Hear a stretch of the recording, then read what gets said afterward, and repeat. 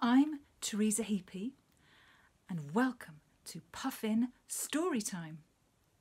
Today, I'm going to read to you a picture book that I've written called The Marvellous Moon Map, and it's got illustrations by the wonderful David Litchfield.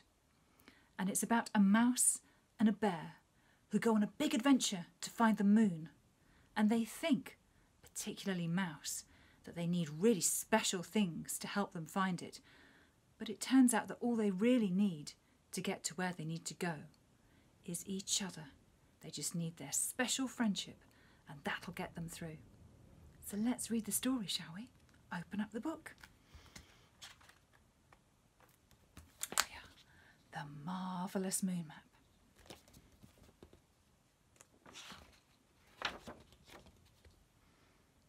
Mouse and Bear lived in a little dark house in the big black woods, and today Mouse wanted to find the moon. That's what he wants to do. see what he says. He says, I'm off to the moon, Bear, said Mouse, on my own, and I'm making a moon map to show me the way. Mouse, said Bear, why don't you sit down? I'll help you pack up and then we'll set off together. No, Bear, said Mouse firmly. I don't need your help. I'm the moon map inventor. I'll go on my own. So, Mouse worked on his moon map. Oh, look, there he is. He planned and he thought. He watched and he wrote. He read and he tweaked and he measured and drew. Oh, he worked so hard. Oh, And look at this lovely picture that David's done of Mouse working so hard on his map with his crayons and his books and his stickers and all the things that he needs. Oh, it was a magnificent, mighty, most marvellous moon map. Well done, Mouse. Right then, said Bear, we'll need torches and jumpers and gloves to keep warm and a hot flask of tea. All I need is my moon map, said Mouse. Are you sure? murmured Bear. Oh, yes, Bear, said Mouse. I know the way now. I'll be back before tea. so Mouse set off on his own on his way to the moon. Look, there he goes. He looked at his moon map. He tunnelled, he climbed, and he clambered up into. Now things moved in the woods. Things fluttered and scraped and rustled and sighed there. Moon map, show me the way, whispered Mouse, but all he saw was the dark. And then came a crunch and a snap and a whisper. Eyes flashed in the shadows and bent towards Mouse. I can go on my own, breathed Mouse. On my own, on my own. When out came.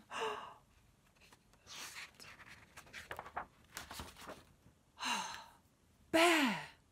Hello, Mouse, he said. Need a hand? Mouse stumbled. Oh, no, no, no, no, Bear. No, I don't need your help. It's just so very dark. I, I can't see my moon map. Oh, no, Mouse, said Bear, but I've got you and you've got me. So we'll be all right. So off they go. Through the woods together. Mouse felt his way, and Bear followed Mouse, and they crept through the blackness and out of the woods, and there was the fat moon trailing milk in the water, a long glitter of water all swept out before them. Mouse stopped. Oh, Bear, look at my moon map. We've got to go over, but it's too far to swim.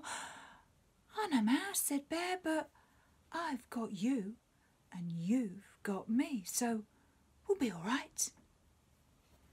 So, what did Bear do? Bear looked at the moon map.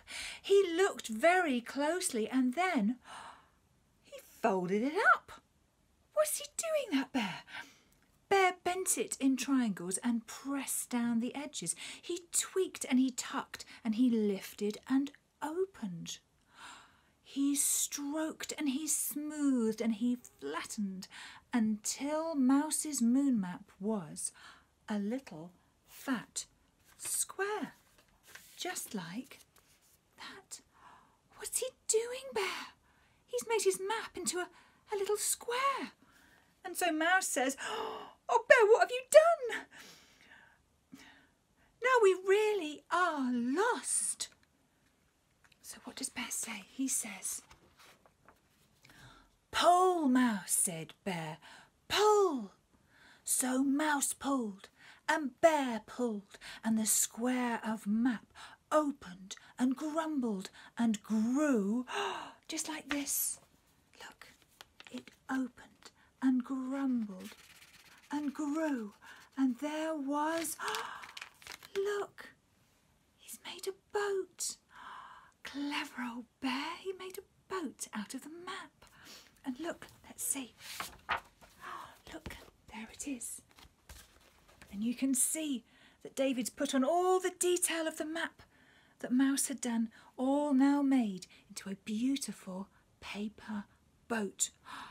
Clever old bear, and clever old mouse too. It was a boat, just right for two.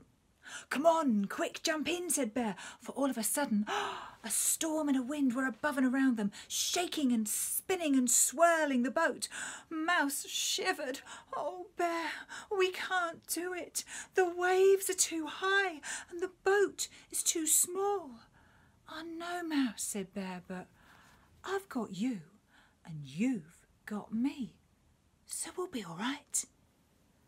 So they leap into the boat and all through the night they held tight to each other through the wild and the wet and the whirl of the storm. And I love this picture that's David's done of all the sea and the waves and the foam and the green and the white and the blue. So they hold tight to each other all the night through. And at last, oh, the wind dropped. It left them but so did the moon. Oh, Bear, it's going, said Mouse. The light's disappearing. My moon map was all wrong. No, look, Mouse, said Bear. Your most marvellous map took us here. Where did it take them? It took them to the sun. The sun stroked the air with fingers of warmth, and the sky glowed in pink purple, orange, and gold. It tickled their ears and it brushed warmth on their necks. It stretched out their arms and put breath in their tummies. And Mouse says, We missed the moon. But Bear says, But we found something better. So off they go into the sunrise. Bear, shall we go home now? said Mouse. Oh, yes, Mouse, said Bear, but do you know the way back? We don't have your moon map. Mouse says, I, I don't know, Bear, said Mouse, but I've got you and you've got me. So we'll be all right. And that is the end of the story. Off they go, these friends together, the end. Because all they needed in the end, all you really need in times of trouble, is you and me. And at the end of the book, oh, look, you've got a special thing. You've got how to make your very own paper boat, all the instructions that you need to make your own paper boat. Start at the beginning by colouring it all in with wax crayon because that makes the paper waterproof. Really clever tip there. And it's all been done by Bear, of course. Clever old Bear. So that is the story of the most marvellous moon map. I really hope you enjoyed it. And look out soon for more stories on Puffin Storytime. Okay, bye bye.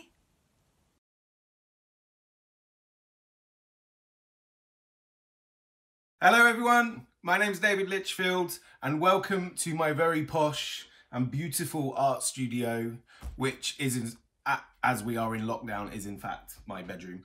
Um, today, I am going to show you uh, how I draw um, one of my favourite characters from one of my favourite books that I've ever drawn, The Marvellous Moon Map by Teresa Heapy. Um, but I'm going to draw Bear from The Marvellous Moon Map. Um, I haven't drawn him for a while, so who knows what it's going to look like, but I'm going to give it a go. Okay, I'm going to make a start. Right, okay, so let's give this a go. So, bear. Now, to start bear, I'm going to draw this shape.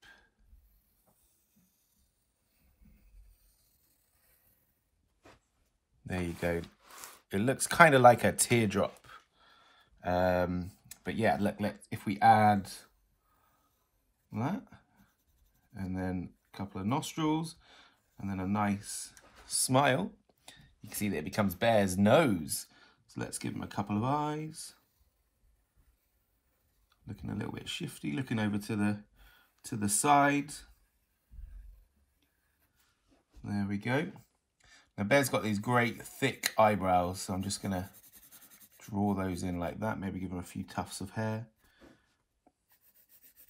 And he's always got quite a reassuring look on his face, giving a lot of comfort to Mouse when Mouse is off on one of his crazy adventures. Okay, so next I'm going to just give a very kind of rough, fuzzy outline. There we go, maybe a little bit of a fringe.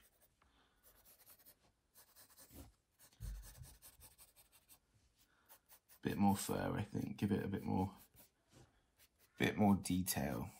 Maybe a couple of bits around the eyes. Now I'm leaving the top of his head clear for the moment because that's where his hat's going to go. So then I'm going to give him, again, some very kind of fluffy looking ears.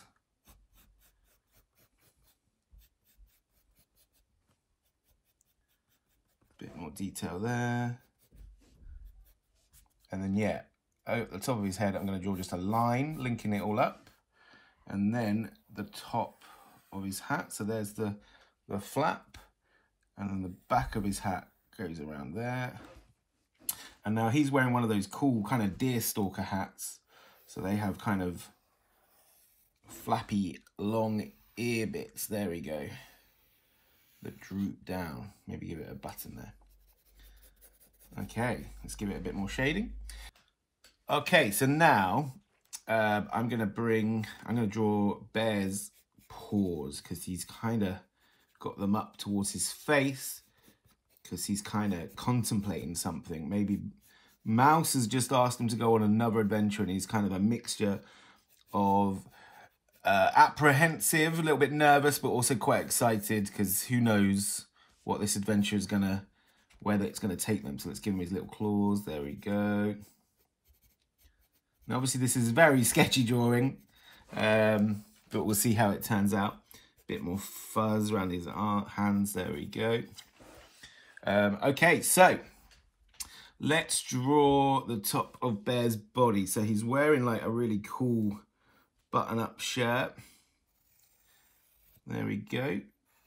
And also he's got his dungarees, which I think are super stylish. There we go, let's give them a bit of shading so they differentiate them from the shirt. Okay, that's looking pretty good.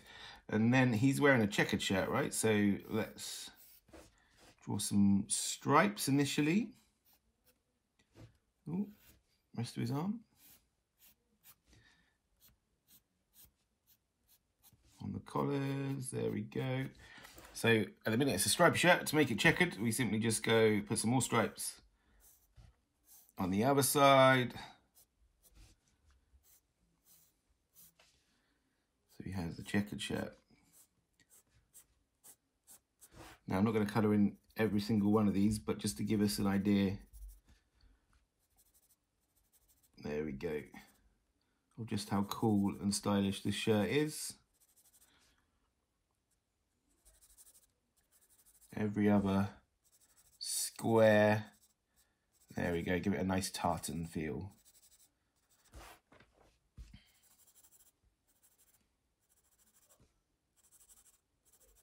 Looking cool, Mr. Bear.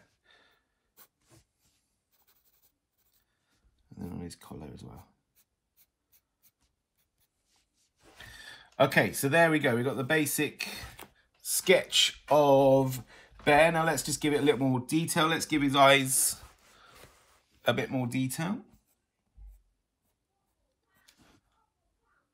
There we go. Maybe give him another circle, and then colour this in black. There we go. Uh, okay, now he is a bear, so I think he needs a little bit more fur, or, or at least the idea, an indication of some fur. So I'm going to just very gently with the pencil just go around his features and just add just very quick little lines to indicate that he has fur. Actually, where his hands are, it looks quite cool. It looks like he's doing up his doing up his shirt. Maybe that's what he's doing. Maybe that's how he's getting ready for his adventure. Is he's putting on his adventures adventures shirt. okay, uh, maybe a bit around the eyes, a bit more fur. There we go. There we go. He's looking great. Okay, now, very important when you're drawing is to think about shading, because shading really can bring a drawing to life. So I'm going to start under his chin. Let's go. Just think about where the shadow would be falling. If the light is coming from this side, the shadow would obviously be falling uh, more over to the left. So let's go all the way around, just giving it a little bit more definition on each of the sections. There we go. Maybe he's got a few creases there where the shadow's falling nicely.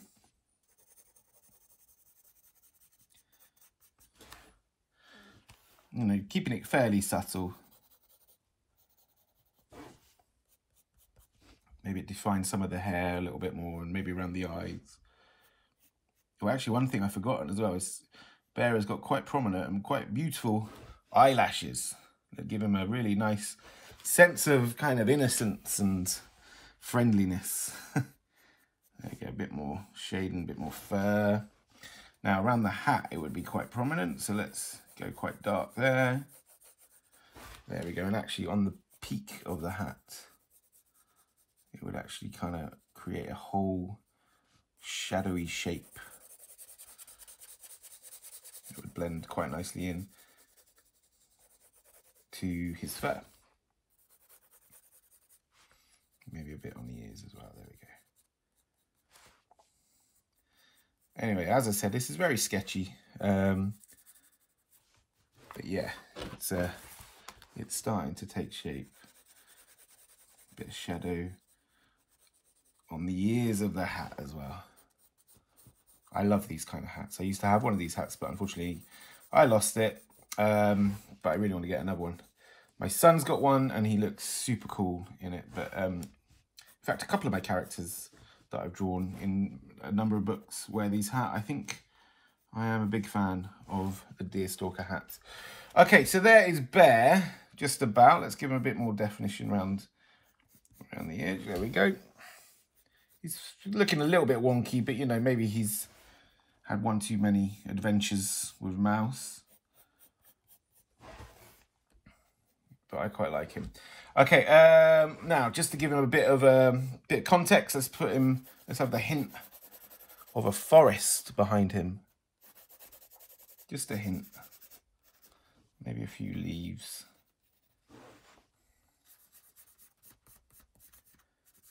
Some fairly scary looking tree branches kind of coming up around him. But then also some nice pretty plants pretty-ish plants. Because Of course, Bear and Mouse live in the forest, and their first adventure was in the forest. They do also go into the city in one of their books, um, but they always come back to the to nature and what they know, which is rather lovely. anyway, I think we're nearly coming to an end on this sketch.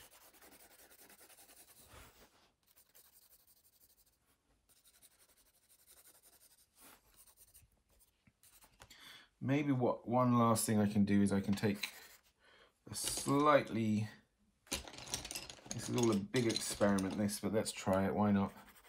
Slightly softer pencil and just add a few more indications of trees surrounding him and more foliage, etc.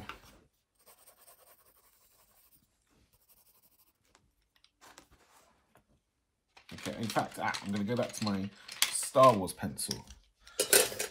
And sometimes when you're drawing things, um, actually taking stuff away can be quite effective. So for example, I'm going to get this pencil, the rubber on the end, and I'm just going to pull it down in the shape of a tree.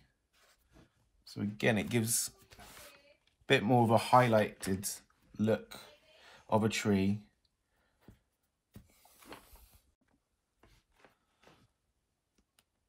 Let's see, there we go. And even I could do that on Bear. Let's smudge some of this pencil so that he's got his shadow on his left side and then even just take a few chunks of that out just to kind of again give a highlighted or give an indication of some fur there we go in fact I'm gonna just smudge a bit of the pencil on his nose there we go and then really pull some of it out with the rubber so that we can really see where the shadow ends and the light is kind of hitting his face.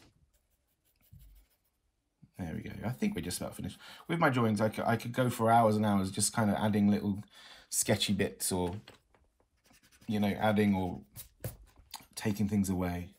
And sometimes you've just got to say the drawing's done. Very famous quote is that no artwork is ever completed. It's just abandoned. And I totally know what that means because I always feel like my drawings are not are never done.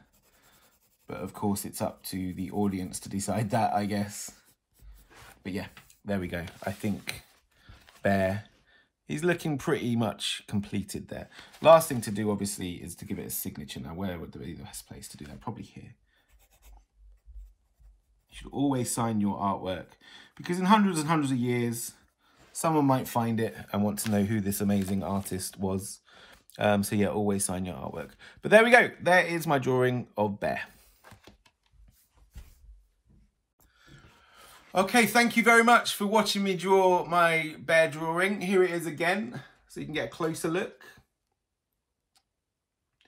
I would love to see if you can come up with your own drawings of Bear or any of the other characters from the Marvelous Moon, Moon Map.